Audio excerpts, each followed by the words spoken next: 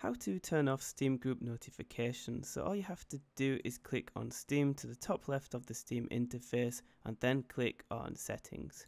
You then want to select the friends tab and then you will see the option underneath for group events and announcements and you will have display a notification ticked. So all you have to do is untick this and then click on OK you will no longer receive notifications from your groups and that's all you have to do. So if this video helped, be sure to leave a like and a nice friendly comment. It lets me know that these videos helped and that would be great. So thank you for watching and I'll see you guys later.